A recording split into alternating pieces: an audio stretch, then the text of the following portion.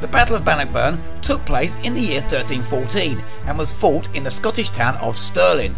By 1304, Scotland had been fully conquered by England. But under the command of Robert the Bruce, Scottish forces began slowly taking back English military strongholds in Scotland. By 1314, only two fortresses were under English command. Stirling Castle was one of them. The castle was under siege, but an English army led by Edward II met at Berwick and marched to Stirling, aiming to break the siege. The English army was the largest to ever invade Scotland. It consisted of about 14,000 infantry and around 3,000 cavalry. The Scottish army, led by Robert the Bruce, had about 7,000 soldiers, mainly pikemen, but also a few hundred archers and cavalry. The Scots had also dug hidden pits along the Bannockburn to prevent large cavalry charges. The battle took place over two days and began when a small group of English cavalry crossed the Bannockburn ahead of the main army. They were met by a Scottish unit led by Robert the Bruce. An English knight saw Bruce and charged towards him. The knight rode a better horse and was armed with a lance and shield. But Bruce avoided the charging knight and killed him with an axe to his head the Scottish infantry now attacked the English, forcing them back across the Bannockburn.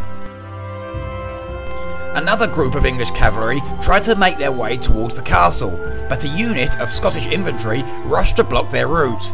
The Scottish were armed with pikes, and many of the English were killed when they charged straight into the Scottish line. Despite many attempts, the English were unable to break the Scottish formation, and a counterattack by the Scots forced the English to retreat back to the main army.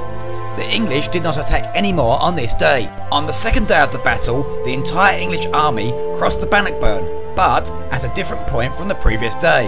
This new battlefield was between two streams, making it extremely narrow. The Scottish army emerged from the forest and advanced towards the English line, a move the English did not expect. In a confused response, a group of cavalrymen charged towards the Scots, but were brought down and killed. The Scots continued their advance and some were able to attack the reserve cavalry still waiting for orders to charge. Although the battlefield was congested, some of the Welsh archers were able to fire their arrows to repel the Scottish line. This worked temporarily until Bruce ordered his cavalry to attack the archers. But Bruce now saw an opportunity to use his own archers and Scottish arrows began falling on the English line. The cramped battlefield restricted the movements of the English army, and they were being pushed back by the Scottish advance.